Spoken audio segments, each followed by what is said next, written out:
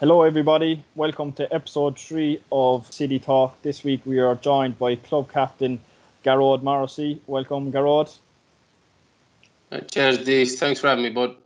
No worries. I think it's pretty easy to come up with a, a title for this week's uh, podcast in this straight out of Mahon. How does that sound? Mahon. Yeah, unreal by Mahon United. so we're going to do maybe half Cork City, half Ring Mahon. How about that? Yeah, yeah, sounds good, bye. Oh, very good. Only joking. Look, uh, just to kind of take you through um, the episode for this week. So we're going to catch up with Gearóid on how he's getting on at the moment during the pandemic, how um, how his training has been, what he's been doing to keep ticking over and, and interacting with the team.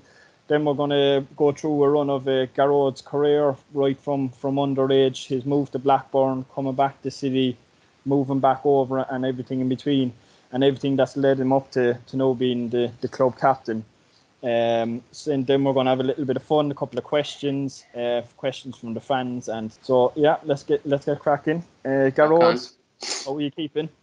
Yeah, not too bad, but um, you know, self same as everybody really. Just trying to um, just trying to get through the days, and hopefully you get an, an extra bit of information every day. You know, and like for me, we're having meetings then with the PFAI and stuff, and I'd be the, I'm the club delegate with us, so I'm in them meetings kind of all week. So my weeks consist of just training, trying to stay fit, leading up to them meetings, and then when you go into the meetings, you're hoping you get some bit of information that's going to let you know there's a resumption of the league happening, there's a date in place, you know.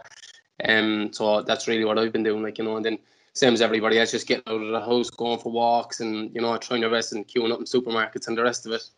I know there's only so much walks we can go on. I think everyone's kind of learned that definitely from the, the pandemic. But um, yeah, let's let's take us back to that. I suppose first of all, I know uh, Neil was speaking to us there, and he was telling us that the players are on programs and stuff like that. What what exactly kind of does that entail? Like a kind of you know, is it a bit of home workouts? Is it out running? You know, are you finding it difficult facilities where you used to get a pitch, or where have you been kind of doing it all?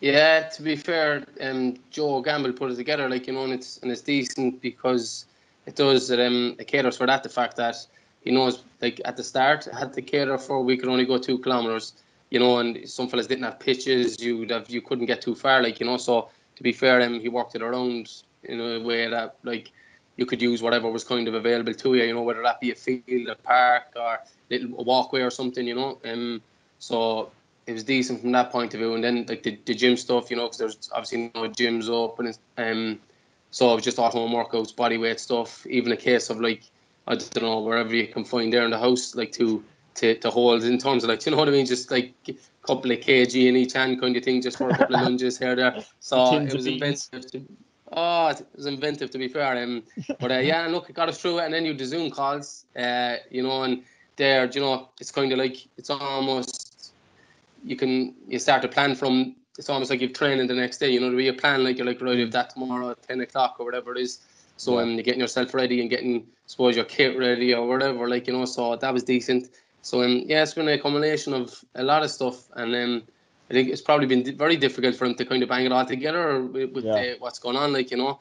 Um, but uh, so far so good, and then you know, I suppose technology kind of saves it because we have, yeah. you know, the apps there and things to track your run, and you know, we, we had a little bit of a competition there. We were doing five k or two k time trials and things like that, yeah. and you know, and you were getting the work done, and you were doing it by yourself, but you were up against all the lads, you know. So um, yeah. I think that was that was good from from his side as well, you know. Yeah, the competition certainly helps to drive you on. I'd imagine while you're while you're doing it, but. I suppose, and like take us through a typical week at the moment for yourself. Obviously, you'll be the, your norm would really be Monday, Tuesday, probably double sessions each day, day off Wednesday, training Thursday, then before the game, game Friday, Saturday, kind of recovery. Like uh, uh, as I spoke to even Colin last week and Neil before that, it's it, like how much do you even do? You know, it's it's a difficult one, isn't it? Like how much do you actually do at the moment because you know you, you can't obviously flog yourself seven days a week and you know with and the league could be you know a couple of months away coming back or or even further who knows? But how do you even kind of judge that? Where in your like because obviously footballers will be used to a lot of structure you know pre-season even the pre-pre-season you're you know it's probably going to be tough throughout the season and there's probably a lot of games so your training is probably brought down. Like how do you even kind of judge that at the moment? Yeah i think like it's that, that's been the hardest part for me to be honest because like I'd always whatever training I'm doing, even like you said there, even during the season, Monday to Friday, I'd know like right, you know, on a on a, a Monday I just do the session, the the gym or the ball session in the morning, gym session afternoon. Then Tuesday I'd know I'd be off on the Wednesday, so mm. after the gym session on the Tuesday I would do my like after we do the the gym with Joe in the afternoon, I would do my own just an extra little bit that I think would keep me sharp, you know, and I because I know then I'll be off on the Wednesday and then kind of just nice short sharp session on the Thursday. You're ready to go for Friday. But like what I'm trying to say is like there's always a goal, you know what I mean, and you're always yeah. building up towards it or tapering back a little bit because of it. Mm. And um, that's what I, I find with this. It was kind of like we were building up, like the programs Joe gave us, we were we were kind of building up into it, and it was getting tough. And and then I think not so long ago, then it came out that look, this could be September. So then basically Georgia said, look, everybody's going to have to have 10 days off. So he said, like, everyone's going to have to, because you know yourself, like, you're, you're, you're, you're doing it now, you're putting in the work. And um, you might even if, say, if the season went ahead in, in August or September, then, like, you know, a, a month or two into it, you could be, you could be slowing up a little, little bit. Like, yeah. Yeah, you know, so like you could be slowing up a little bit and saying what's going on here. So um, I think that was important that we got the ten days. But um, we yesterday there now he's he's like as of yesterday yeah Monday so he's put um, another program together for us to go from now until I suppose basically it's now until the next bit of information gets yeah. uh, gets released and that we know where where we stand and um, what dates we're looking at coming back and um, hopefully sooner rather than later like you know because like you said there like you don't want to be you don't want to be busting a gut and it, it, all be in vain like you know what I mean yeah absolutely it's it's a tough one to kind of judge and manage at the moment but like you said, you're you're obviously the captain and you're involved in a lot of the PFA discussions and stuff like that. But I'm guessing a lot of the information that you know at the moment is what the public knows is that there's a lot of kind of uncertainty and obviously the the FAI have put out the roadmap, but it's still there's no kind of definite there at the moment, which is you know which is not ideal really for the players, is it? No, like that's what I mean. Like we kind of it's kind of been bounced around. There's there seems to be a lot of different. Like you have the clubs, you have the PFAI, you have you have the FAI. You know what I mean? There's a there's a lot going on there. Like you know what I mean? Instead of like, I think it kind of needs to be a case of where the clubs, the PFAI, the FAI, the government all come together yeah. and get on the same page. You know what I mean? At the moment, I think um, there's nobody really knows where anybody fully stands, you know. So it's mm. difficult. Like, and I know to be fair, they're they're all working towards it, you know, because everybody wants football back. But um, there's a lot to it, you know, with the financials, and then um, I think the testing and stuff, you know. And at, at the end of the day, I would imagine it all comes down to the government. You know what I mean? So, um, yeah, there's there's a lot of I'd say there's a lot more meetings to take place before we before we get back on a pitch. Like, you know what I mean? Yeah, and like, what's the kind of mindset of yourself, Gearóid, and look, obviously you're in contact with the other players and stuff like that. What what's the kind of thought process? Is it is it kind of a, a mixed bag? Is it kind of you all you're all leaning towards we're bursting to get back? We want to go back as soon as possible. Is you know because everyone is has their own circumstances or in their own situation personally, you know, and professionally. Is it kind of is it a bit of a mixed bag, or, or are you all kind of in the same boat really? Of like, let's say you were even given the uh. option of going back right away. What's what are you kind of thinking you know yourself and the consensus of the other players. Yeah, um, it is a mixed bag. To be fair, like you said, everyone has their own circumstances. Like, um, for me personally, it would like um, the health side of it is what I'd be I would be more most concerned about because I'd be um, my wife has asthma, so I'd be worried like that going to training or whatever, or playing games if I contracted COVID nineteen, bringing it home kind of thing. That would be my main concern. So like for me, as long as like the main thing is to get the medical side covered, um, to get the testing in place and all that, and then you know what I mean. It, it there's always going to be risk, like you know what I mean. Yeah. That there's that's that's going to be for a while, like. But um, I just think as long as the testing gets put in place and all and all the rest of it, uh, the medical protocols that need to be like in the training ground and the rest of it, I think that gives me peace of mind. Then I'm going right. Well, you know what? We've done everything possible, um, mm. and everything's there for us, you know. And um, for the sake of football as well. Like you, you do need to at some point say right, let's have a go at it. Like you know, um, but in terms of the rest of the lads, yeah, like to be fair, like I said, technology is kind of you know it's kind of saving us a bit because we can all keep in contact and everybody's Yeah. keeping up to date with each other.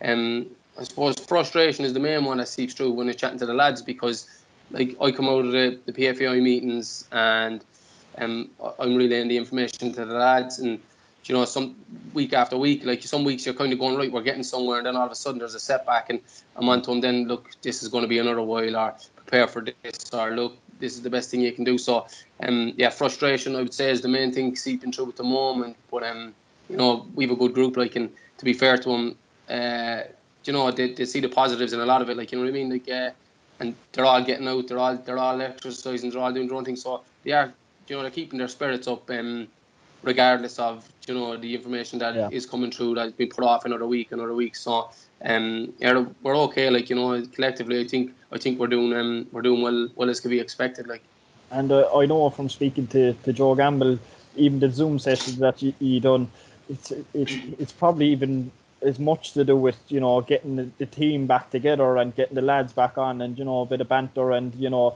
more even more so than the actual probably work that you're going to get out of it really like isn't it you know just to keep everyone in touch keeping, Yeah, everyone you know yourself there. Know, did you do one right? But you do one with Basil with Ringmahon? Yeah, we've done a few, yeah, and it does. It, again, it, it- it's you know everyone was on having the crack. There was more laughs than work was being done, but it, you know that's that was the Exactly. of thought process behind it. Was really kind of you know because you're on for what a half an hour, forty five minutes. You're not, you know what I mean? Yeah. Like it's a it's a I think time. we, with us, we were like, we were all like when Joe put it up, you know, the group, the so we'd have the we'd have the city group chat, and then you have the lad, the, just the players kind of thing. Like Joe, Joe, Joe put it up like, and uh, group chats. Oh yeah, yeah, one's just for giving out about the other one. uh, But uh, yeah, so Joe put it in, and you know the lads were all laughing. You know, it's, it was early in the morning. Well, it wasn't really, but I suppose now everybody's lying in most mornings, so they were like, yeah. We, we have to get up for that." And um, so giving out kind of, and then when we got into it and we got it done afterwards, like I don't know about the lads, like, but I didn't even want to hang up because the banter Yeah. was good. Everyone was in high spirits. You know, everyone was having a bit of crack. Yeah. Um, so I thought it was from that point of view. isn't it? Oh, massive! Like even afterwards, mentally, I felt way better. I was like, you know, because at that point, like you were isolating, like you couldn't really see anybody. Like Yeah, so, um, just to actually be able to just chatting with a group of lads there, like you know, in your in your living room or whatever. Um, I thought it was uh, it was great for morale more than anything. Like and. To be fair, you did, like Joe done a good one. We got a sweat, like you know, and um, like you said, like it's kind of more morale booster than anything. Yeah, no, uh, they look they look good, and as I said, we've done a few of them as well, and they're yeah they're, they're brilliant for that. Like you know, it's great great to see the lads again. Um, so yeah, I suppose look that again, um, you know, on the COVID situation, it's just a play wait and see game, really, isn't it? And uh, you know, we, we for the clubs, as you say, for the PFA, the government, it's you know, it's it's it's out of our hands at the moment, really. So we can only we can only play it by ear. So yeah, um, look, thanks for giving us an update on kind of how you're doing and how the players are getting on and, and what you've been up to. So, going on to the next part, we just kind of, I know we spoke beforehand that uh, something that I was kind of looking to to focus on it on in the podcast was, you know, your obviously um, your move over to England, how that came about and how it was and all that kind of stuff. Because obviously it's, um, you know, it's a it's a it's a prominent thing in football at the moment, and you know has been for a long time of you know young players from Cork and all over Ireland going over to to the UK and you know at a young age and stuff like that and you know there's been a lot of pros and cons to it really like you know and I don't know the exact stats behind it but a lot of the guys who seem to went over late or i- i- in age whether it be like we had Colin on last week he went over at 18 you know, Alan Browne, Kevin Doyle, Shane Long, all guys who kind of went over when they were kind of older, mature. David Meyler, they've, they've seemed to kind of the, the numbers seem to outweigh the the you know the lads going over at 15, 16 and stuff like that. And look, uh, with the exception of maybe John Egan, you know, and Stephen Ireland from Cork, you know, I'm sure Mm. I'm missing out if you know, but you know the the odds are stacked against young lads going over. But it's a difficult one then because look, you were in the situation you know, Premier League or Championship club, big clubs come calling it. It's a difficult one to to turn down. Talk us through your, um, I suppose, we would have known each other when we were younger, and I seen you growing up and playing when you were younger. You know, there was without a shadow of a doubt like that. You, you were going to move across the water, you know, and probably have the pick of the clubs.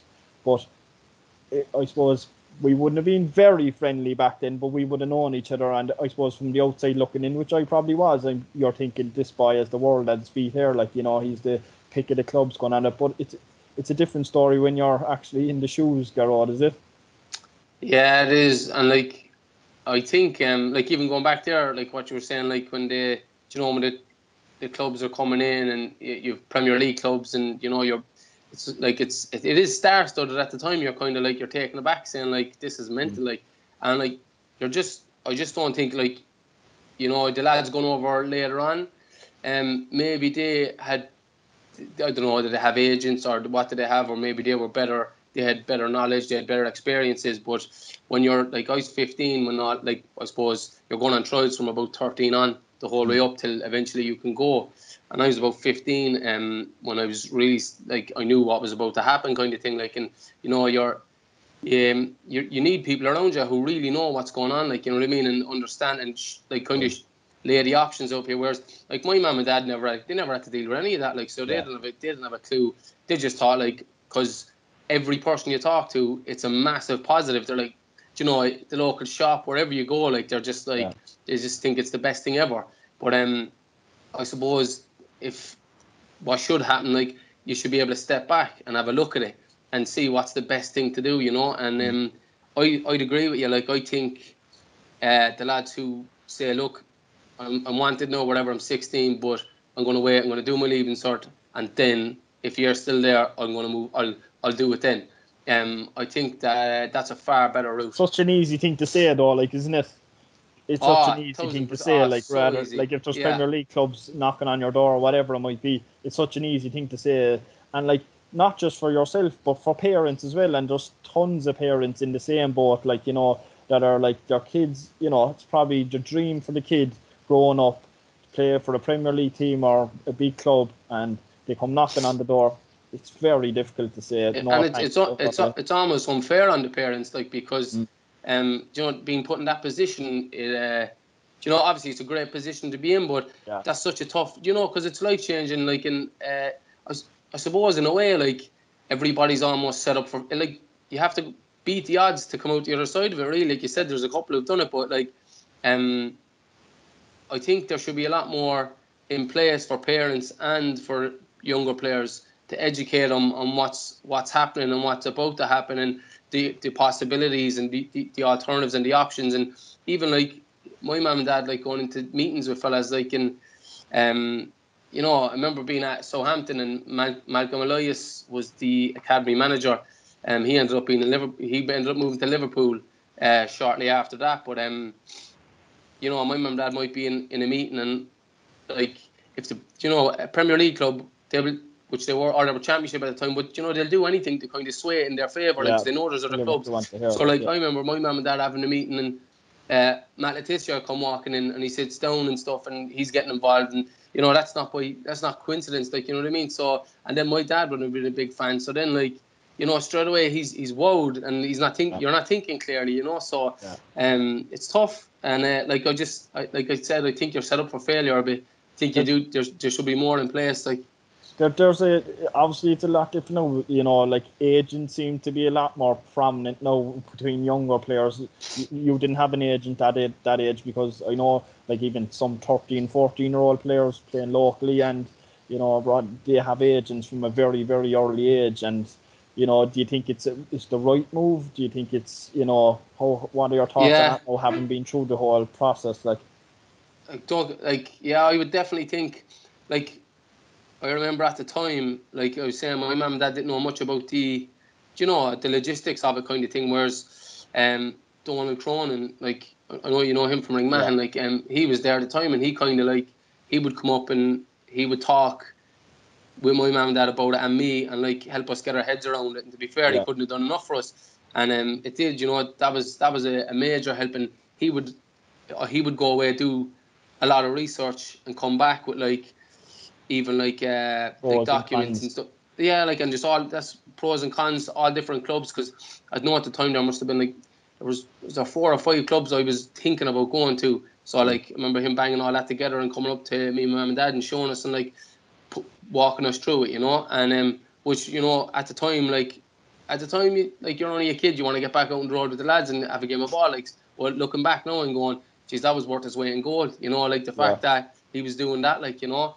um, but uh, but then again, like he he'd never experienced that either. He'd never no. done it. He was just trying. He was trying his best as well, the same as my mum and dad. But yeah. um, I think that in terms of getting an agent, there's pros and cons to it. And don't get me wrong, like there's there's really good agents out there, and, but there's really bad ones as well. So yeah. like you you, you kind of need one who's who's going to look after you and, and care about you a bit, like you know what I mean.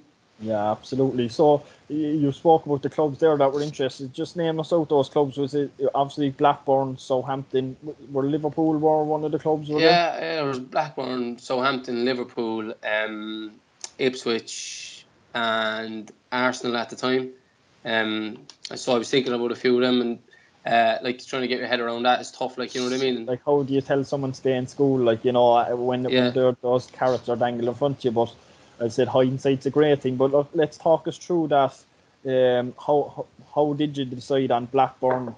Why did you decide Blackburn? How did how did that come about? Uh, so I actually I actually didn't decide Blackburn. I was actually decided Liverpool. And I went over and I was like, right, I was due to sign. I think, and um, oh yeah, I was due to go over and have a visit.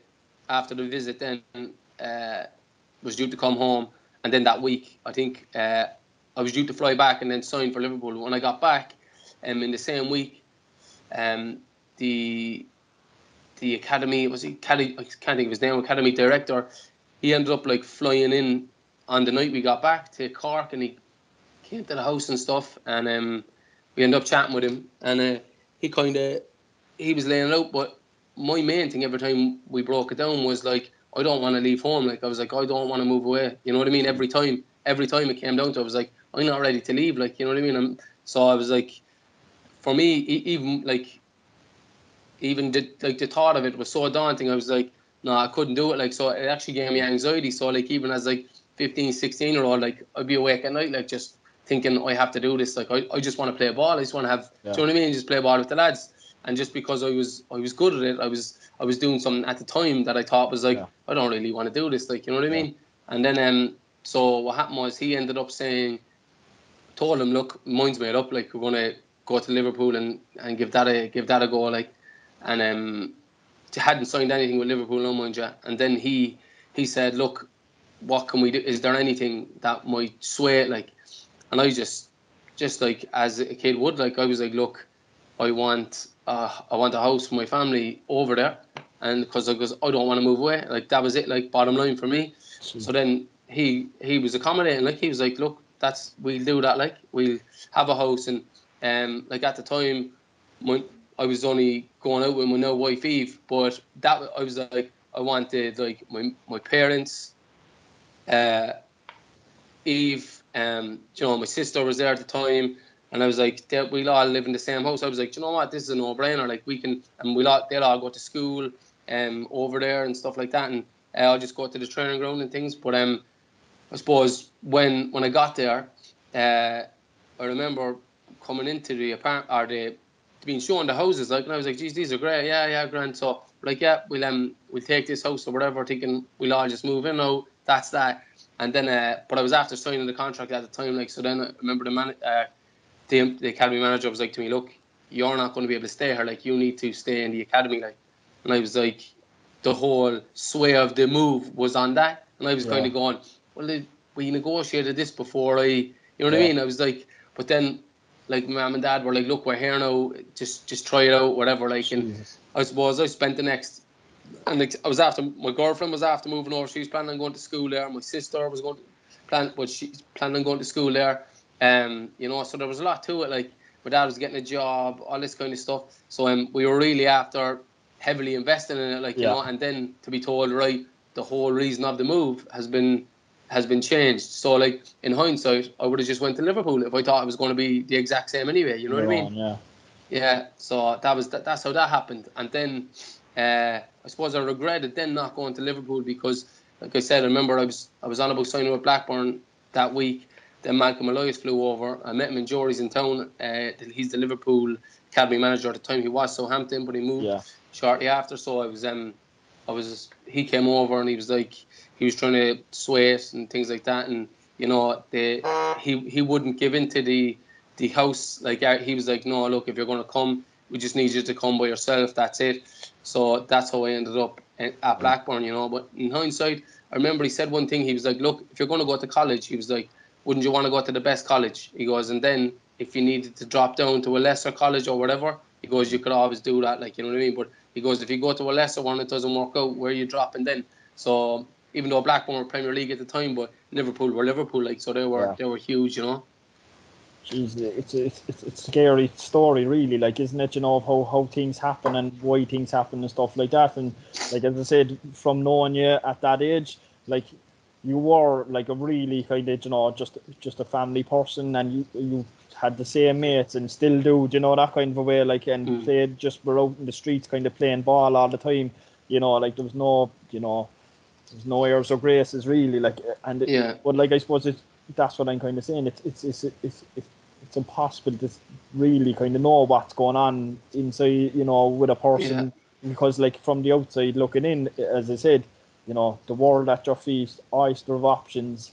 You know, like what does this fella have to complain or worry? Yeah. You know, that's the thought and, process. Of and don't get me wrong, like I, you know, there what like I'm saying there should be things you don't know, like you don't go into it completely blind. Like you know, yeah. I remember, like I remember meeting Eoin Hand, um, ex Ireland manager there for, just for a bit of advice. So like I did end up talking to a lot of really good people, but yeah. in such a, in such a short space of time that I was overwhelmed with the info and what what was happening. And then there, before you know it, there's a flight booked and your whole family's moved over and you're over and you're there. Like you know, over it feels like within the space of two weeks kind of a thing. That's probably a six month period, but it feels like about two weeks, you know. And to get your head around the whole lot of that, and then um, you know get get the information you need, talk to the people who know who've been there, who've done it, get all this and process it and make a cho- make a choice, the right choice. It's extremely difficult at 15, 16. Um, you know, and like I said, if it was maybe over a two-year period and you're constantly learning about it, you might you might get your head around it. But you know, in such a short space of time to just jump into something as big as big as that, um, it can be massively overwhelming. Like, and even even when I was in Blackburn, like I, I was there for like a year and seven months. I think I must have lived like even when I got into the academy, like I lived in a suitcase. Like I, I'd like I had my wardrobes, the whole lot. But like it's funny thinking back, like but I'd live out of my suitcase because if I thought if I unpack my suitcase and put them all in the, I was like, that's me living here. Even though like this could be a year into it, so I was yeah. living there anyway. But it was just like if I do that, meant I had a mental block. I couldn't fully you know, commit to right. I live in the UK. No, you know what I mean. Couldn't commit to it like. Mad, mad, and um, I suppose hindsight's a great thing. But if you had your time over again, what would you have done differently? Would you actually went? Do you think?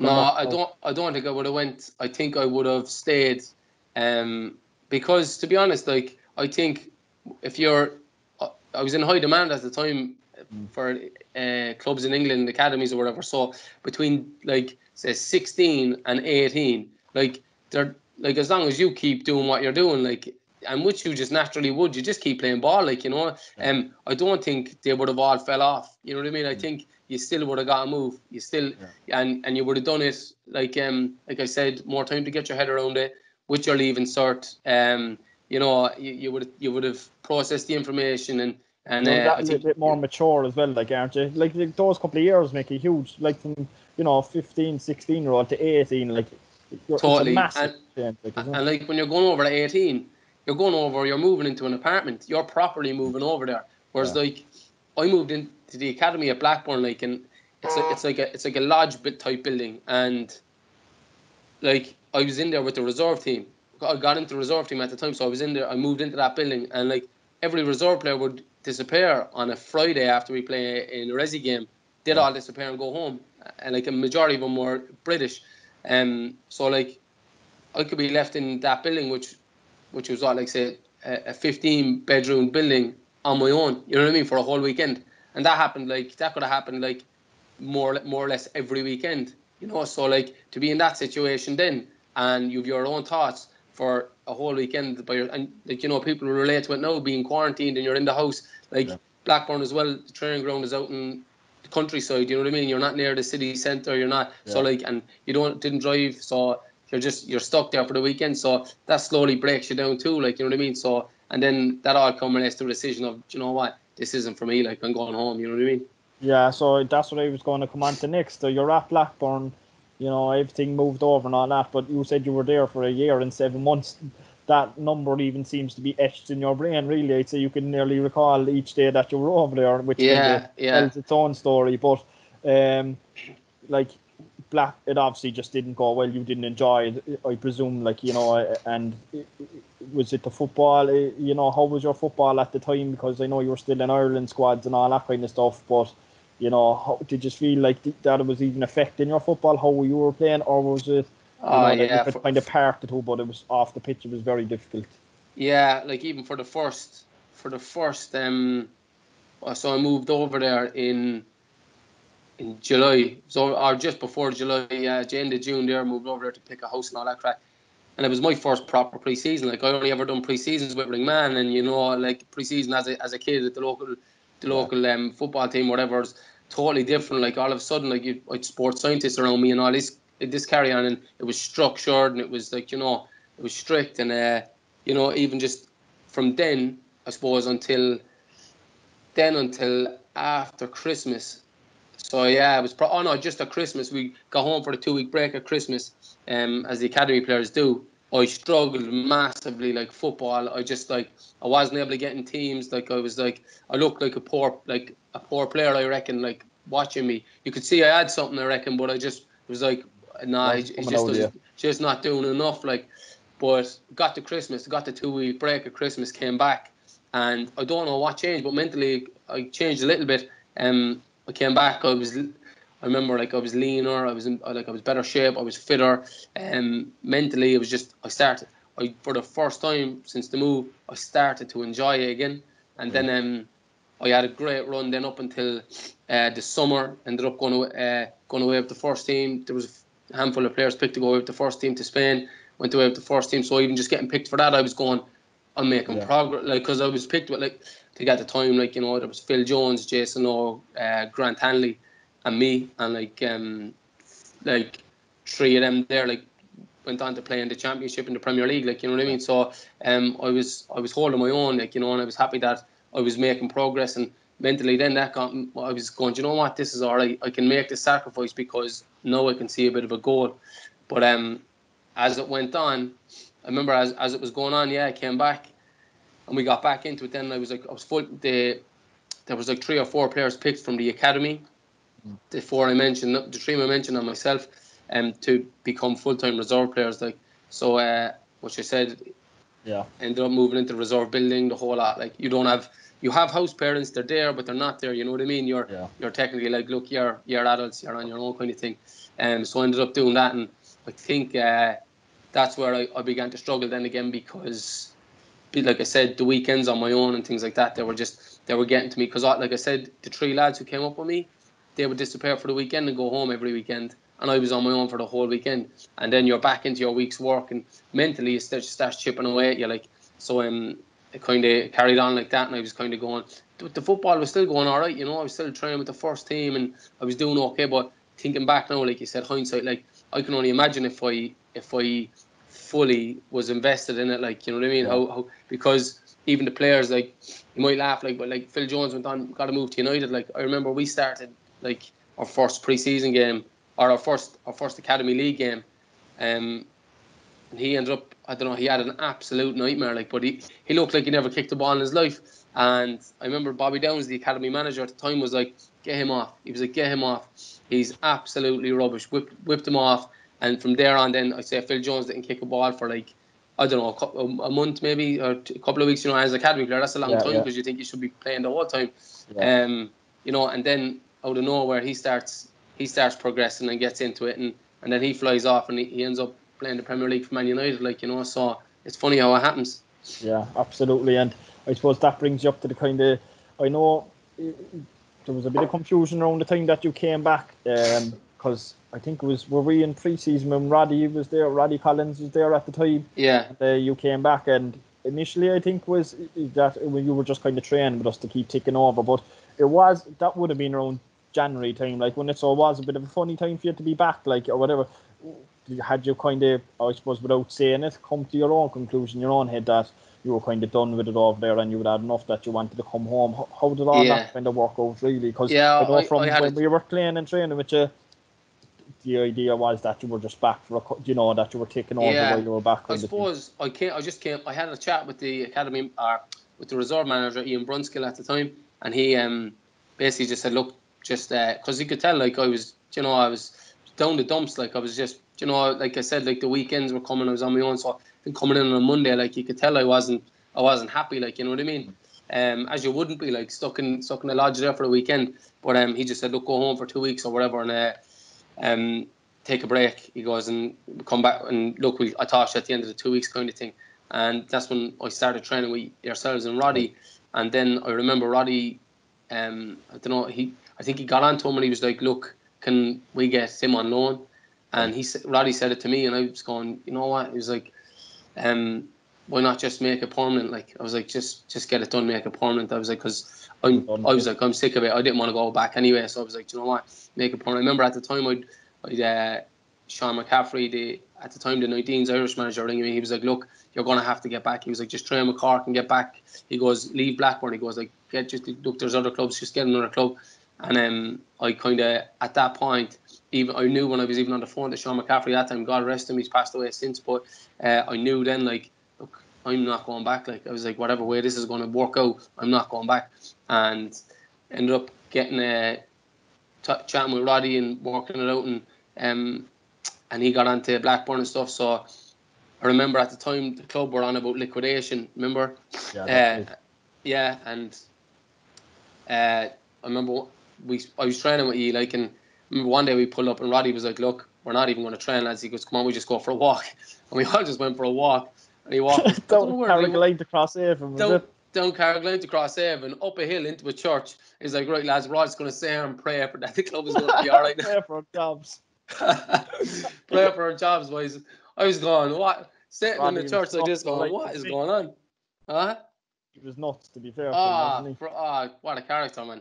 Yeah, But, uh, he- I playing for him as in like you know he's one of those he'd make you feel great and all that like but he was Yeah. totally nuts like wasn't he you know Oh, yeah, that- like, training off for a walk like you know for two yeah, hours yeah, yeah.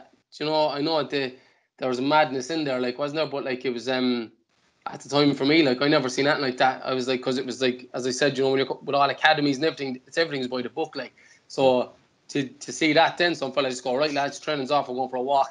Just like, this is brilliant. I know But, uh, but um, yeah, so, th- but uh, that was time the club were talking about liquidation, and Yeah. I remember like you know, you had George O'Callaghan was there at the time, Greg, yourself. So there was a lot of people um who, who knew the score, like, and uh, I remember just um. We, I was due to sign down in Cobh. I think City had buildings down there or and offices down there or something. I was due to sign, and I remember getting down there. My sister dropped me down. I was like, "Look, I'm signing with Cork or whatever," and it was great terms and all this. Like, because I was only 18 or whatever it was, I was thinking like this is all right money. I was like the whole lot, like everything's. I was goes, this is fine. Like this is going to be all right. And uh, I was like to Roddy, look. Before I signed, like I was like, before I signed the cessation contract with Blackburn and signed the contract, which all would have been done in the same hour with City. I was like, is the club, is everything going to be all right? He was like, we're sorted. He goes, look, everything's fine. We're going to be all right. I was like, this is brilliant. I was like, great. Then signed the deal, handshakes, high fives all over the place, thinking this is the best. Walked out anyway, got home. Uh, six o'clock news, I think, came on. I see Cork City have gone into liquidation. I was like, the what? ink wasn't even dry Oh, I was on the phone. Like, Roddy, what's going on? Like, I remember George at the time was on the news. George O'Callaghan giving out about it. He's, Wow. he was bringing me up. Like, he was like, we've signed a young player from Blackburn. He's just let his contract go. All this, but uh, at the time, like, you know, I was there was uproar in my house. But like looking back, it's uh, it's funny enough how it worked out.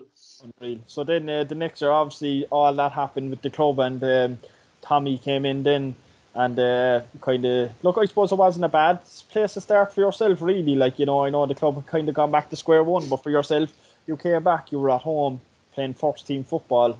Now I know Tommy used to be kind of particularly hard on you, and we used to be. Uh, we used to have a bit of banter about that. Tommy uh, Gearóid screams could be heard from miles around Bishopstown, I'm sure, on many occasions. But it, Yeah, like we all we all kind of knew was because obviously, look, you were the not the star because that's probably wrong, but but you were the you know like you were the real talent and you were a bright future for. So Tommy was obviously trying to get the best out of you, like yeah, yeah, yeah, and that was fair too. Like yeah, and he did like you know like he'd wrote like that's it like and I think when it's like that uh, it can be bittersweet, like, but as long as the manager's playing you and putting you in the team, you get over it. They can roar at at you. As long as they keep putting you in the team, you're gonna say, you know what, I don't care. Yeah. He's, he's, playing me every week. So, and um, no, it was definitely good for me. Like, you know, um, uh, just getting, you know, and and that you need that as a young player. You know what I mean? You, you come yeah. in because, like, I suppose although I know I wasn't, but like he could have he could have been thinking, oh, he's coming back from England now. He might he might have a think he is a bit about him, or he might be smelling himself a little bit, like yeah. um, which I know I wasn't, but he sure he wasn't to know that, like,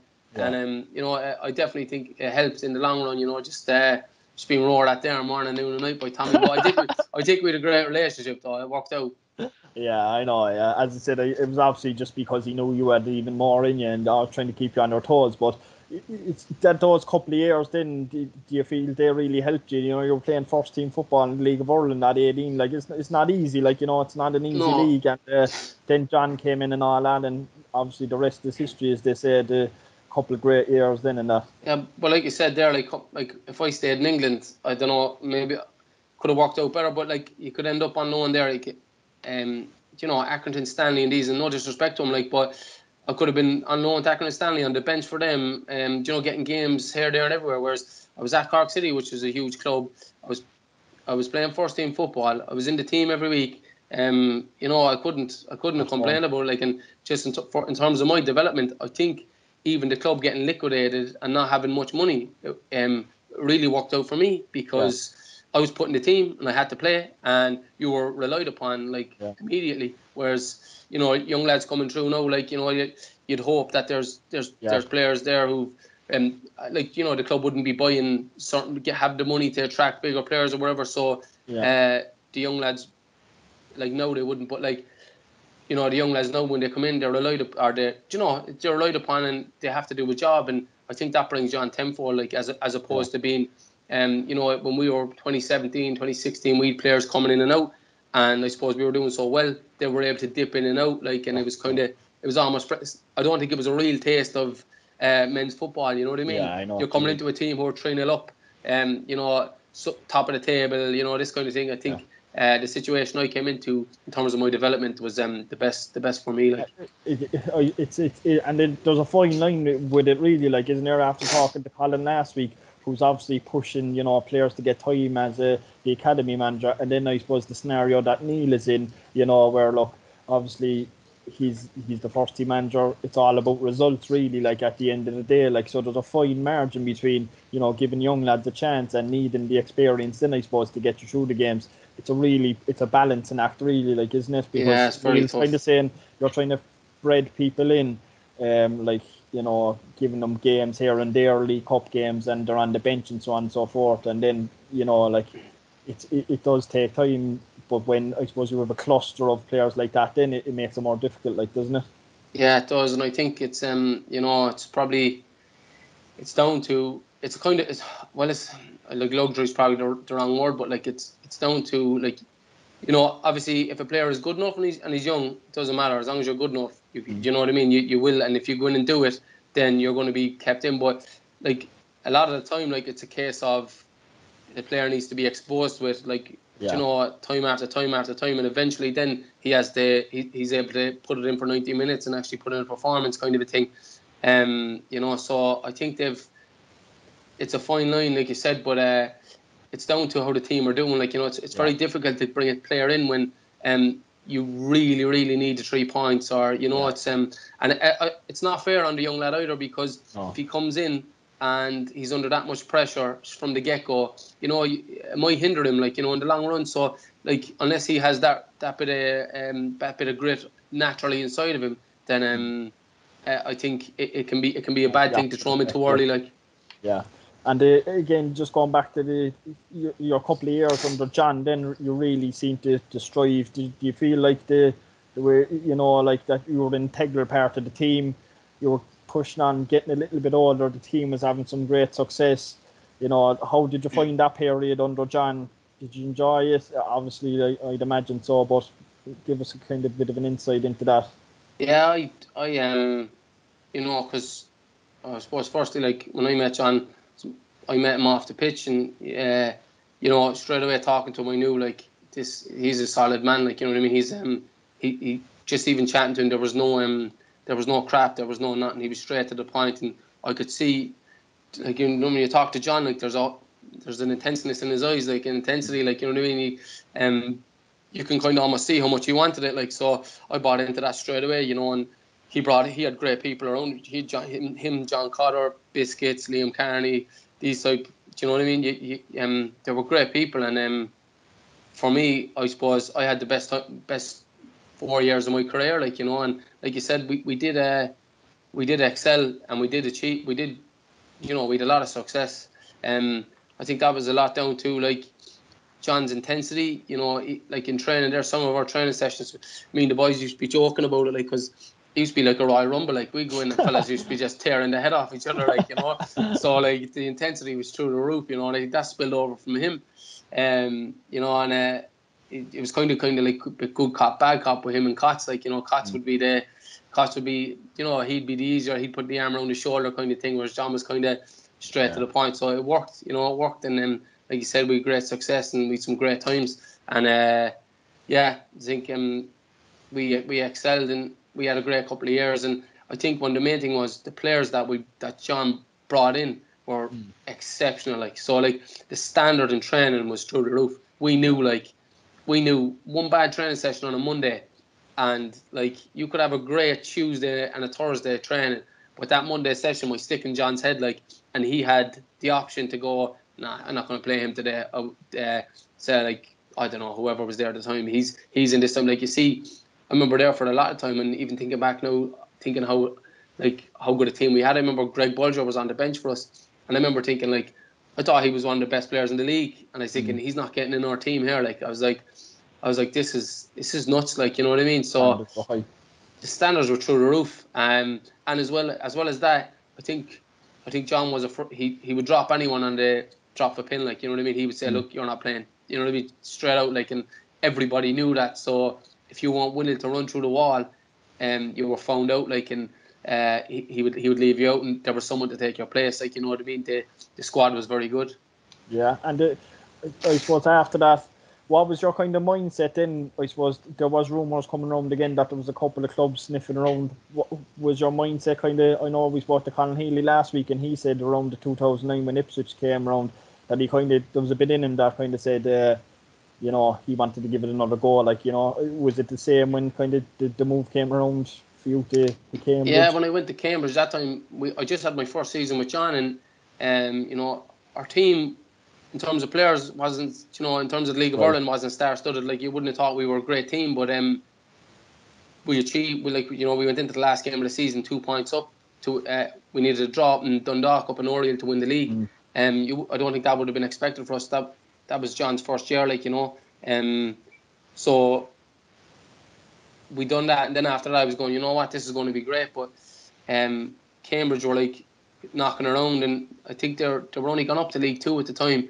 Um, and you know, I ended up meeting with the the CEO and the chief scout and stuff, and you know, um, it was just for me. I left England on a sore point, like so. I was kind of going, you right. know what, it's League Two. I know. I was like, but you know what, there's there's opportunity there if you wanted to to climb to climb back up the table, like or climb back up the leagues and see what you can do, like you know. Um, so it was it was an extremely tough decision because, like I said, like I think City at the time, I, I felt like we were just getting going again, like we right. were just about to do something.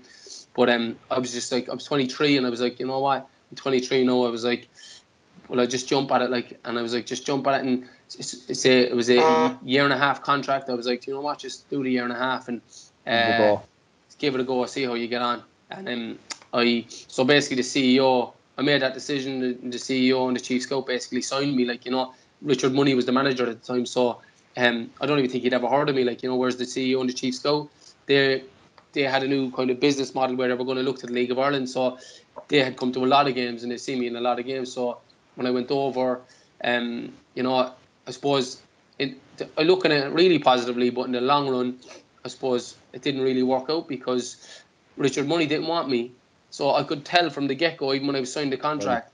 he didn't want me, but the chief scout and the CEO wanted me. He didn't want to go that way because he'd never seen me play. I was like, not surprised he, he might have seen a clip or something, but like yeah. in terms of like you know you you don't really know he wasn't, the, he wasn't your choice, as in he wasn't your he wasn't no, he, pick basically. No, and I, I don't think he wanted to look because he'd already they'd already won the they already came up in the conference and he had his players and he had you know he had he'd been around the league he had his own ideas you know yeah. but um like I said the CEO and the chief scout overruled him and I think that reflected badly on me then because I think I paid the price yeah. um you know went over initially I I had asked for I said look I've been out because I got injured my knee in the week up to the Dundalk game. Then I played the Dundalk game with a sore knee, which I probably shouldn't have.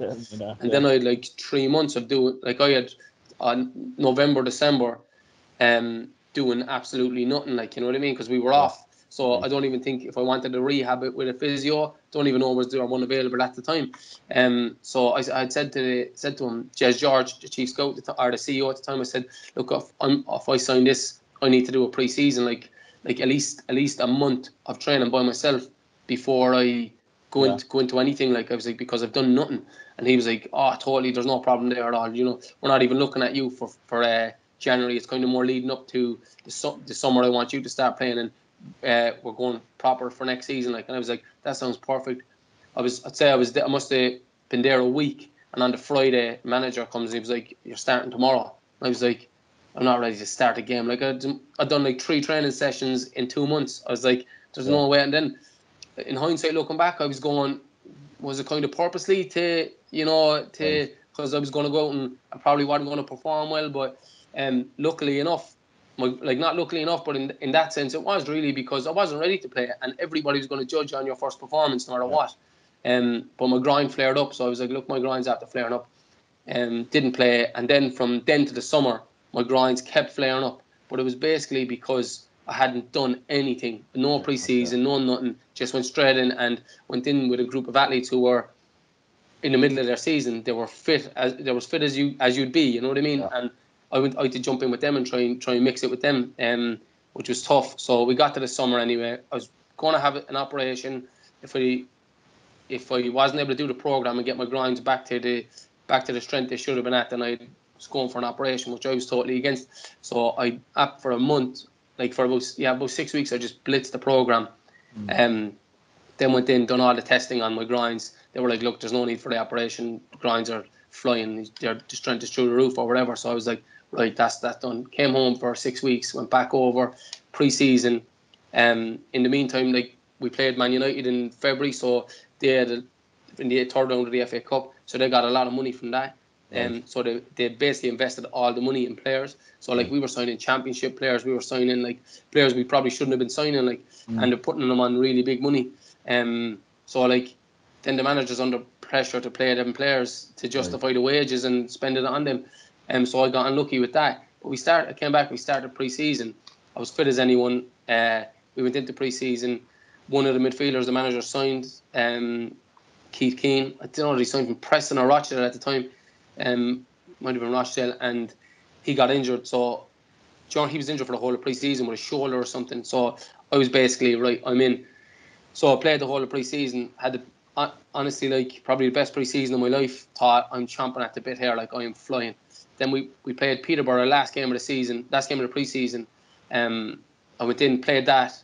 Uh, there was I don't know what was that. It was massive. It must have been seven or eight thousand at it. Like you know, it was a, it was a big game, even though it was just a charity game. Um, we ended up like spanking Peterborough, which we shouldn't have because their, their team was a lot better than us. You know, spanking them like um, I know it was a four-one or something like that. So like manager took me off like 20 minutes to go. I was like, uh, a really good performance.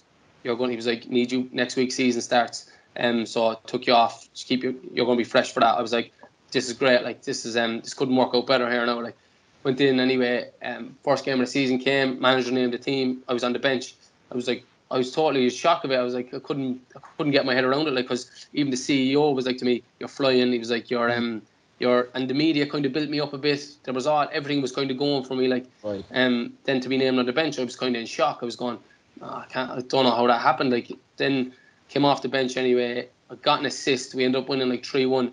I was thinking I'd done enough in that 15 minute cameo there to start next week. surely with the preseason getting an assist, I was like, that's me, and you know, definitely. Yeah. And then I mustn't have kicked the ball for I mustn't have kicked the ball for 50, I don't know, was it like 11 games, 10, 11 games? And like you know, you're talking months there, like so. Yeah. By that stage, then, the, like I was like, nah, you know what? I need to get away from I need to get away from this, like, because this manager, because the CEO was coming to me telling me, look, I think you should, you know. So I kind Yeah. of knew my my thinking was I was right, but Yeah, um, yeah. I knew he was justifying his signings, which is fair enough. He's the manager, like it's it's his call, and that was that was grand. But uh, we got closer to Christmas, and I remember he was under a bit of Richard Money was under a bit of pressure. Um, so I was like, so I just started working out my own deal that I was leaving. I was like, look, I need to get this get this going because he's not he's not any interest in me playing. So I started that, got it all done, was just about to sign it, like, and then he got the sack. And Um, meantime, now like my wife and I were living over there, like you know, so we were fully committed, like so it was it was a tough year. And then um, Shaun Derry came in, and I was in the middle of literally that week I was flying home, like, and Shaun Derry was saying with me, he was like, look, he basically he basically said to me, look, I want you to stay. He we were he, he was there about two weeks at the time, so he'd seen us train and play bits and bobs, and he was like, look, I want you to stay. I want you to stay. Um, I was at that time, like mentally, I was done with it. I was like, do you know what? I'm just not feeling feeling it mentally anymore. So I'm going to um, I'm going to leave it. And he was like, look, just stay around till Christmas. I'll need you till Christmas. And he goes, look, I'll leave you go home for Christmas, and then um, he goes, and that and that'll be that. Like you know, he was like, look, sorry, sorry to see you go. He was like. If I was here a couple of weeks earlier, maybe it'd be different. But look, he goes, I understand. He goes, I know the score, and I was like, fine. And then Christmas came, left, came back, and in the meantime, I was on the phone to John Cotter a lot. So he kind of edged away a pathway back into City for me with, with John Caulfield. And and like I said, um, I don't think I like Was it always didn't City that you were going to come back to? Was it there ever a thought that you might go to another team in England, or was it all? Did you always want to come home again?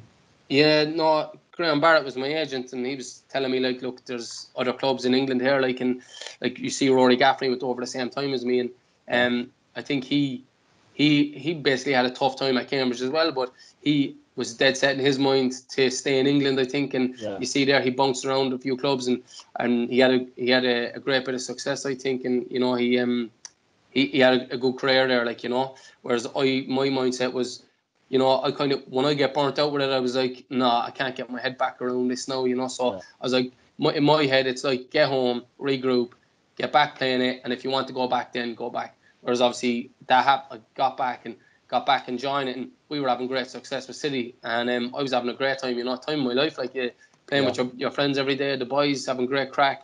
Uh, and winning, so and then you Europe and you the whole lot on top of it. Um, we were we had an unbelievable three years, like you know. Um, so Yeah, Uh, so talk don't- the double cups, cup finals. It, it was it was a way of success, really, wasn't it? Over those couple of years.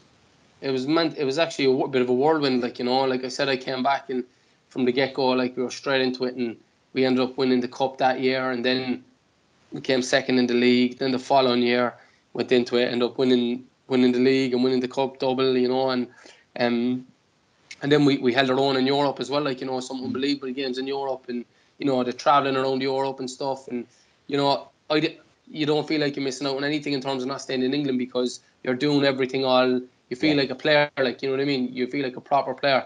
Um you know so I had a we had a great time then you know and uh, obviously then it, it ended it ended uh, not not too long ago but um you know you, you would have you would have liked if it if it like the the success and the, the staying at the top carried on but you know football like you know come it's, it's just the way it is sport in Yeah. general like you know Did you did you feel like that from yourself and a few of the players who had been there over the last couple of years that maybe it was time for the change, or what was the kind of feeling within the camp at the time? You know, obviously, look, it's probably the manager who takes the fall in the majority of these situations, really. But obviously, look, a lot of things didn't well. Players weren't playing well either last year, and a lot of kind of things went wrong. But did you kind of feel yourself or between the squad that the feeling was that maybe a kind of a fresh start might be good for everyone, or, or, or what was, did you well feel like, like, that you know what up? I, I, um I don't know about the lads but me personally coming away from it and the way it ended for John Caulfield I took a lot of guilt from that like because I was kind of saying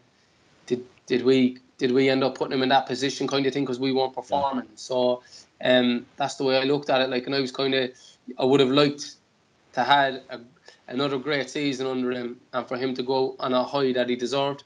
Um, but look, like I said, I think that's I think as the players, you're the ones that cross the line. You're the ones that put it in. You know what I mean? So I think um, I kind of wish we'd done more for him so that he could have had the exit that he, he deserved in my in my um, mind. But um, look, it wasn't to be. And like I said, you, you just learn from it. And like in, in terms of change, um, it's always the manager. The buck always stops with the manager. You know what I mean? Like players, there's some players come and go. Like you know, but in terms of a whole team and a season, it always, um, rightly or wrongly, um, but it always stops with the manager. So he's always the one that pays the price. Um, you know, and I think that was the case for John. You know, he ended up he ended up having to pay the price for maybe maybe us us not us underperforming for the season. You know, so you know, but like I'm sure he's okay with that because he he's um he's a, a, sportsman. Like he knows this is it's sport. You know, this it's just the way it goes, and unfortunately sometimes. And an unbelievable five years, really. Like wasn't it with Europe and the cup finals and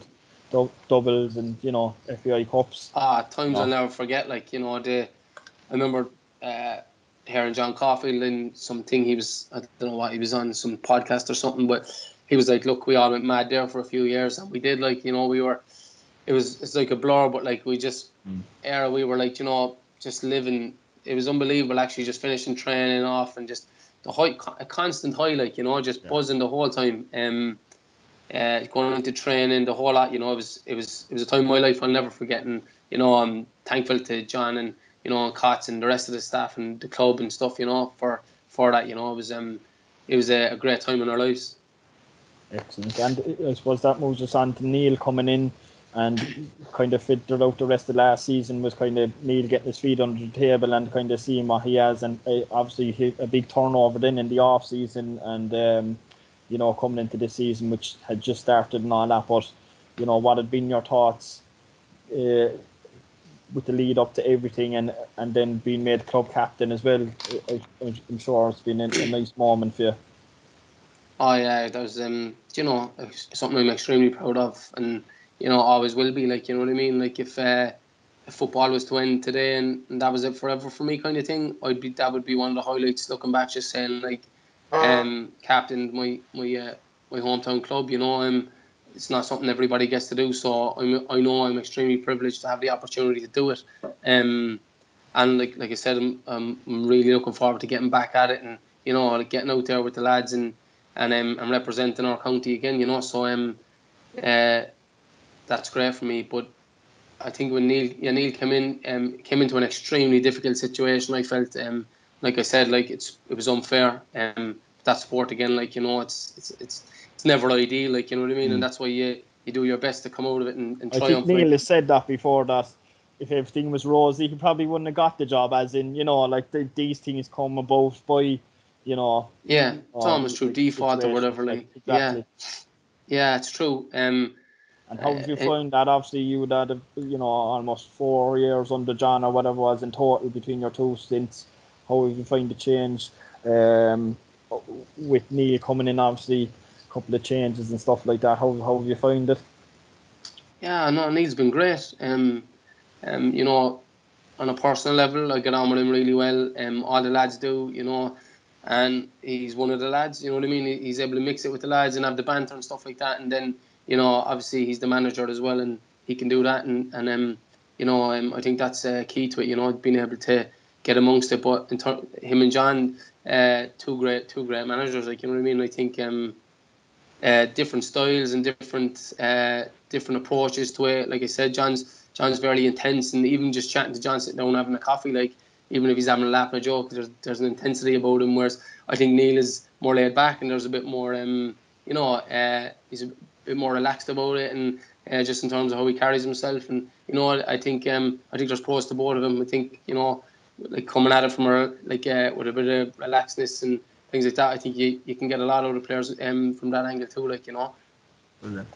And um, again, obviously, the start of the season, you, you kind of, you know, had a difficult start, but I know that the kind of the thought process and the mood in the camp was that there was something there like that. You know, it was going to pick up, and you know that you were going to improve with each kind of, and you probably were improving with each game that you played, really, hadn't you? Yeah, and I, I think you know we probably we probably suffered from like the team probably suffered from you know like there was a bit of pressure from the fans, mm. but I think it was it was more to do with the like the team at the time with with with John and stuff. And that mm. season, I felt carried over, and it was it was really unfair on the on the lads that came in. Like a completely new team, really. Like and all young lads. Like I went yeah. from I went from being middle of the road to old age pensioner of the team overnight. like you know what I mean. So um, imagine what that makes Nults. Jesus. Oh, stop. Re- relic of the team. Yeah, but uh, uh, yeah. So that was almost overnight. Like and you know um in terms of the players, I felt like from when we started, from when we we all knew there were good players. You know what I mean and um good young players, but young players are young players. Like they need experience to get better. It doesn't just happen, you know. So like we, I, from my point of view, I almost wish that the preseason was another four weeks longer in terms of getting more games and like and helping us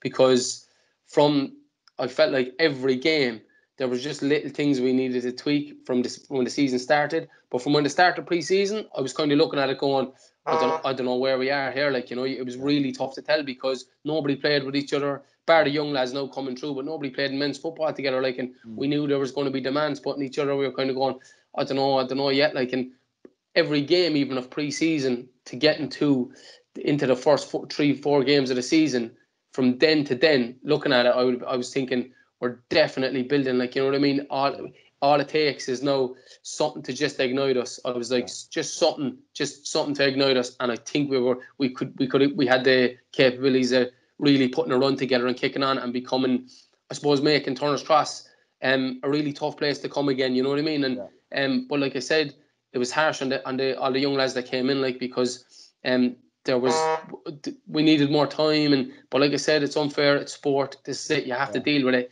But from where we finished when you know all this coronavirus and all that happened, um, I think we were we were on the verge. Even though results mightn't have said it, but you know, when you're in training with lads every day, there's a change. There's a change in how in the intensity in training and um and stuff like that. You know, so I felt it was back. I felt like we're getting somewhere now again. You know what I mean? I felt like, but in terms getting all a whole new group together, um, it just takes time. You know, there's no, and in the meantime, everybody speculates and everybody has their own opinion. So um, it can become really tough.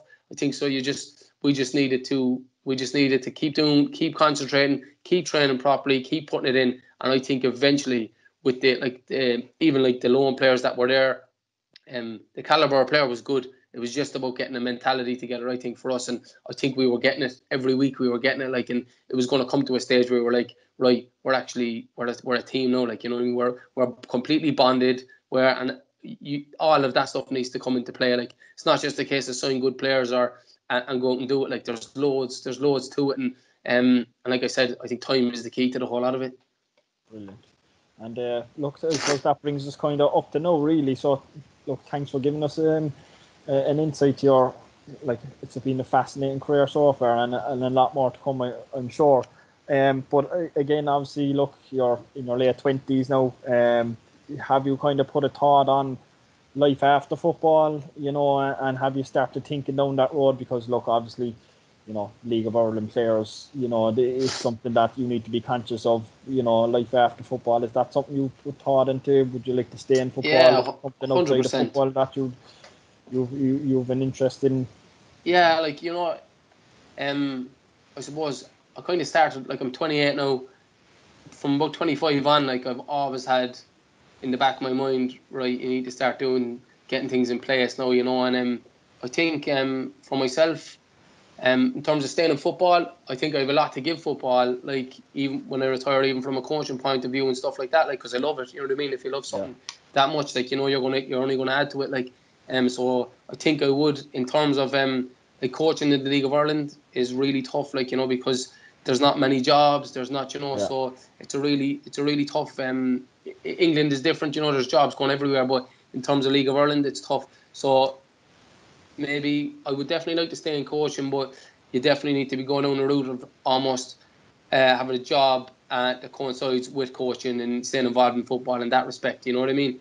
Um, I, that's something I would really like to do. And um, in terms of work and things like that, I think um, I have a good I have a good network of uh, like business people and stuff like that over the years I've built up and um, no doubt I'll, I'll I'll, I'll look to that for look to them when I'm when I'm going to make a, a change. But like I said, um, hopefully that's you know six seven years away. Please God, you know. Good stuff. Good stuff. Uh, we have a couple of fa- questions from the fans that came in through social media. But first of all, we're going to play a little game.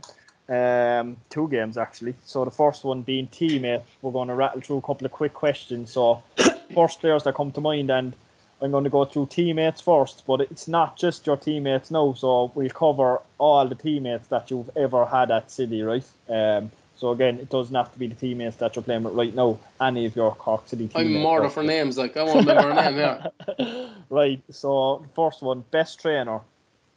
Best trainer. Um, there's a few. There's a few. Uh, but like you could never look past healers, like because no matter what, like even even in like you know drills and stuff like that, with passing drills, you know sometimes fellas can go through the motions in them even like, but even them healers is ratting around like you know, and he's his intensity is through the roof. He's sprinting around. He's busting a gut, and like he's not just trickling a little pass into you, like he's banging it into you, like, and if you're not ready to deal with it, like he'll be on your case. So I um I would say healers like in, in, in that regard, even in the mornings you come in.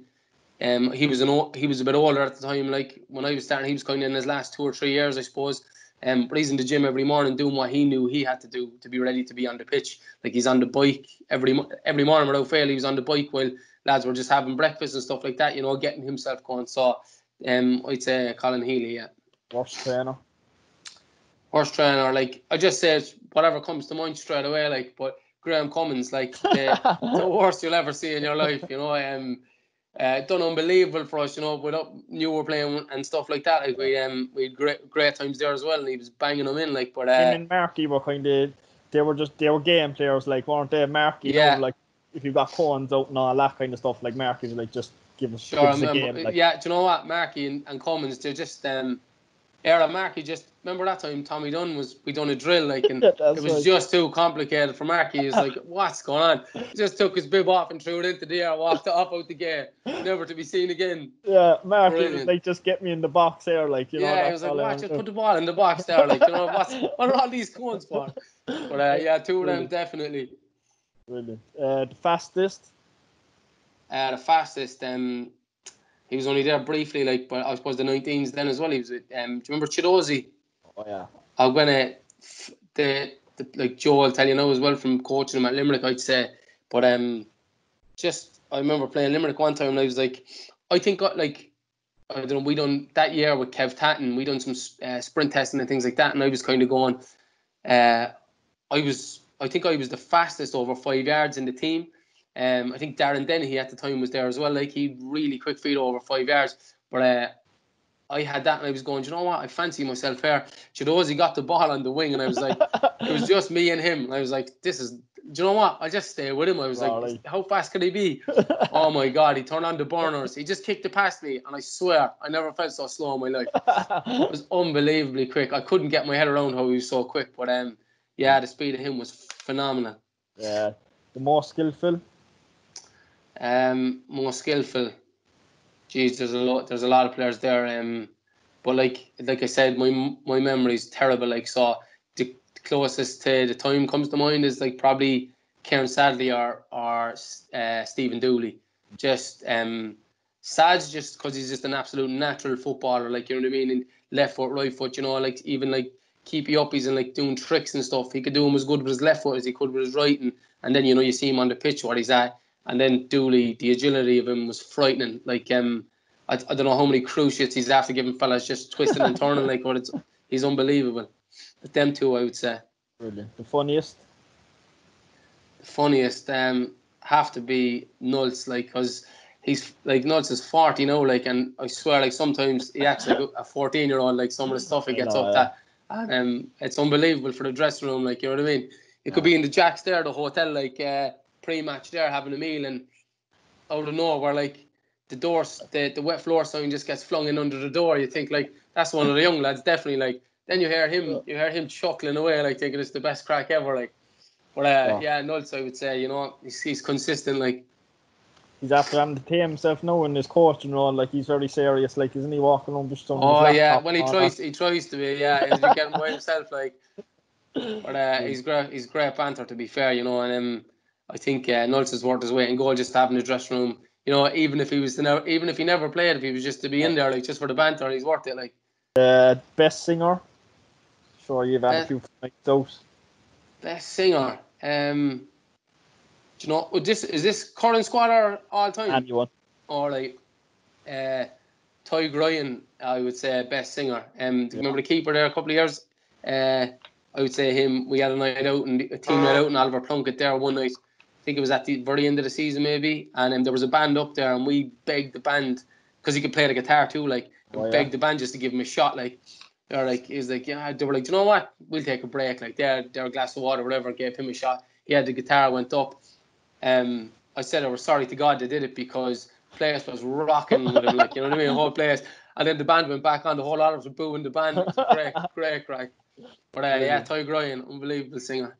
So, uh, team MVP. So basically, the kind of one player that you played with in a, in a city team that you thought, no, it wouldn't work without him. Really, like Um, I suppose if I went, yeah, if I went to the years we were really successful, like from from a kicking on, like you'd have to say Seanie, like you know what I mean. I think when he, from that, from us kicking on to that success and you know having such a great time, I think he was definitely the MVP to the whole lot of that, like you know.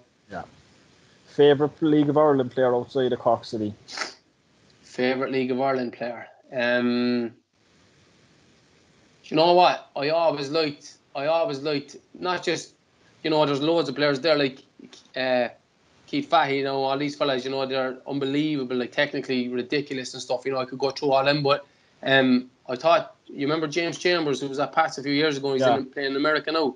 I always thought not just how he played, like, but he was always tough. He was always hard to play against, and I just thought he carried himself really well. You know, like in terms of being a sportsman, I thought he like he was tough in a tackle and stuff like that. But he'd also pick you up off the floor after the tackle, and you know, and he, he, he wasn't. He'd always give you a bit of praise or something after the match. He'd let you know, look, I thought you were great there, what you doing or whatever. Like so, just in terms of being a good sportsman, like um, I think James Chambers, yeah. Brilliant.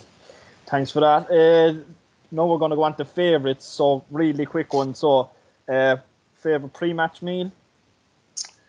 Uh, mine is chicken, rice, and um, I try to have a little bit of veg with it, like you know, just a tiny bit. But I'm a stickler for pre-match, like because we pull up to the hotel there. Like sometimes we it could be like for me, I have a slow metabolism. Like like I have to eat literally about four hours and fifteen minutes before kickoff. Otherwise, I'm up the hair with it. Um, but uh, yeah, with the with the pasta and the rest of it like that, you can go into it like whenever I have it, like the digestion time on it takes me forever. So I just have the rice, tiny bit, of, not even much chicken, just a tiny bit, and um, a tiny bit of veg. Like you know what I mean? Then, um, less is more. I think for me, ju- for the pre-match as well. Favourite drink. Coffee, americano, all day. TV program.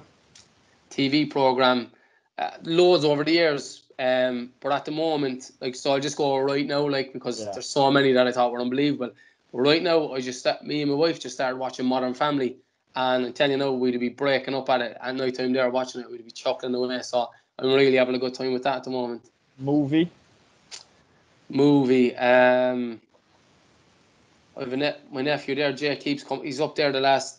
He comes Jay. up there the odd time, wherever, yeah. And uh, he's mad into Avengers. So Oh, yeah. I think because of him, you know, I'm constantly throwing these. Who'd win in Yeah. the fight? Thor or Captain America all day long. Like so, I'm after getting right into them. So I would say Endgame Avengers is is up there now, currently. Like Your school subject. I'll say outside of PE because that's always a cop out. I think when players are asked yeah, it is. It is. Uh, history, loved history. Um, is the only thing I would I would actually take in in school. I think the rest of it was just was noise. Like, but just the fact that it happened used to always used to captivate me. Like it was like this happened. Like you know what I mean? This is mad. Like you know. So um, yeah, I loved history. Last one. Favourite thing about Cork. Favorite thing about Cork. Um, you know, um, being a Cork man, there, like you just love every bit. You're so biased, like you know what I mean. You think there's nothing like it, even when you're away on holiday or whatever. You could be in the most beautiful part of the world, and you'd be on about Cork to the person next to you at the table or whatever. Like so, um, Yeah. I'd say everything, but uh, the people. I think Cork people are sound. I think um, there's a humility and a modesty about Cork people that um, not everybody has. You know what I mean? So I'd say the people. Shout out to the Cork people there. Um, so uh, just a couple of the fans' questions. So we'll try to rattle through these quickly. Uh, Dear Medici on Instagram said the volley against Finn Harps. What was going through your head? Um, not much. It just uh, we were up against it that game. Um, so like the fact we played Harps, you know, and they really put it to us that game. Like you know, we um we were really under it. So the fact that it just it, the ball just came in, I took a touch, and as I as I took a touch try to keep it up, the player jumped as if to block it, turned his back. Then I took another touch, turned and volleyed it in. Um, but when I went in, I didn't think it was that good a goal. But then when I went away and looked at it, remember Nults in the dressing room goes, because that's probably the best goal I've seen in real life. I was like, yeah. what? I was like, I was no, I didn't, I didn't think it was. I just thought it was normal enough. Then I seen the clip and I was like, yeah, oh, it looked, yeah. it looked good enough. Like so, I was going, yeah, that was uh, that was decent to be fair. So um, yeah, I was buzzing and, off of that one. Anthony O'Sullivan on Twitter said, um, was uh, your what was your favourite goal? Would that have been it?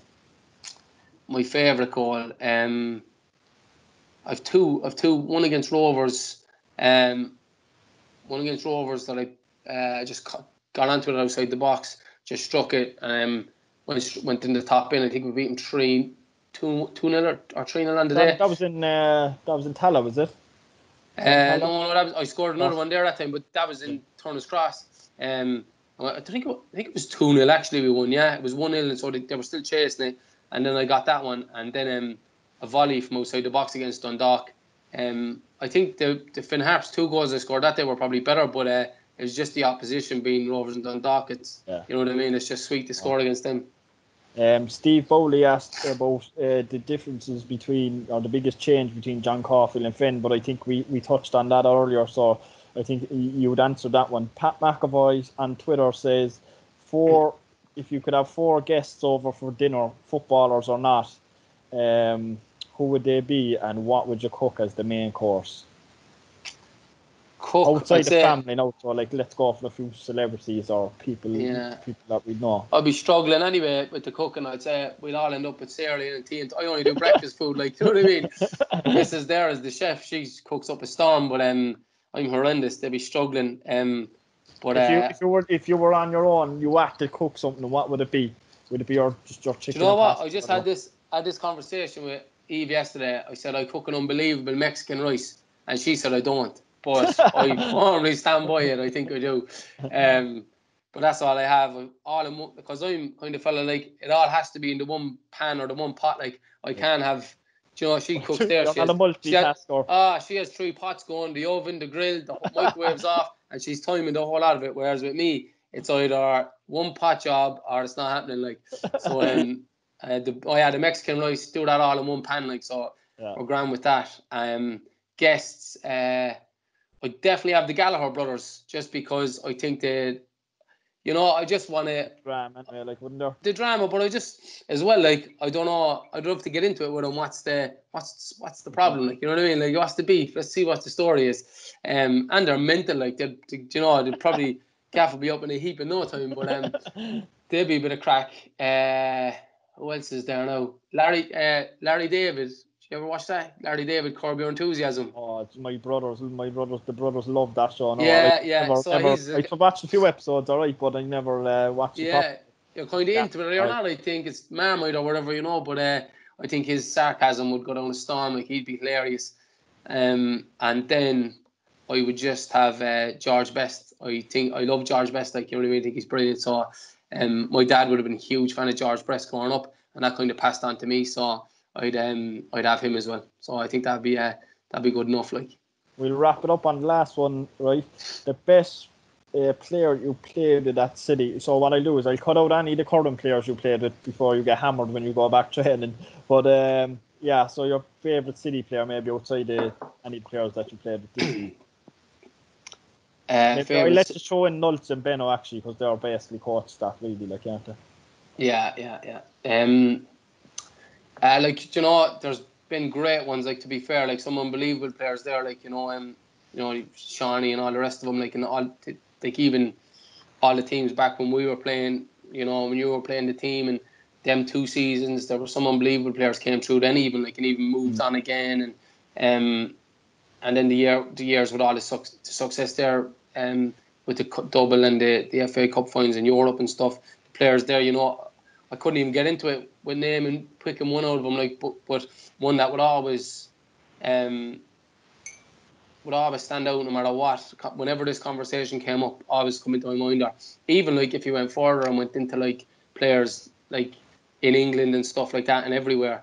Um, you know, played with and played against, and you know, like I said, we played played against some really good teams. Like, and even in February that time, playing United and stuff, players were unbelievable.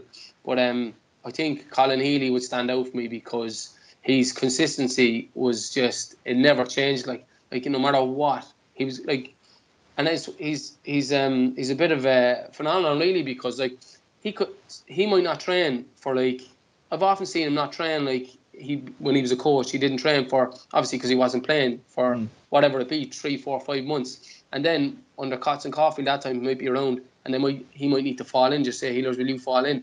And then he was the best trainer still and I was going this is nuts like how can this happen you know that's uh, but and then going back to when he was playing just training with him and playing with him the intensity and just the level the just the standards he demanded um and the fact that he met him himself week in week out um, that's the reason he would stand out for me. Like, yeah, he was. He, he's big, uh, big expectations. All right, to be fair, and he, he was unbelievable. But uh, that came in from Donncha O'Sullivan on, on, on Twitter as well. So look, that's kind of that wraps up our, our episode three of City Talk for this week. Thanks, Gearóid, for giving us an insight there to, to everything. Really, really appreciate it. Uh, really appreciate it and hope you're, you're keeping well and taking over. Um, so this week's podcast you can be seen on our YouTube channel on Rebel Army TV. You can also be listened to on Apple Podcasts, SoundCloud, Spotify, and you can download the, the Cork City FC app on Apple and Android also. Uh, thanks to Aaron Howie on production. Meant to give him a shout out in the last two ones as well, but he's the one that makes it look and sound better. Um, from this Thursday until next Sunday midnight, we have a 15% sale on the club shop um, on all kids items, including the home green jersey. So that sale is on from 9 a.m. on Thursday to 12, 12 o'clock midnight on Sunday. So any kids goods that you were looking to pick up, the, the sale will be from 5 to 14 year olds. Um, so Billy Woods is going to be the guest on next week's podcast. So again, same as last week, get over your questions on uh, social media and you can email email us also on podcast at corkcityfc.e. Okay, thanks for listening and uh, speak to you next week. Thank you very much.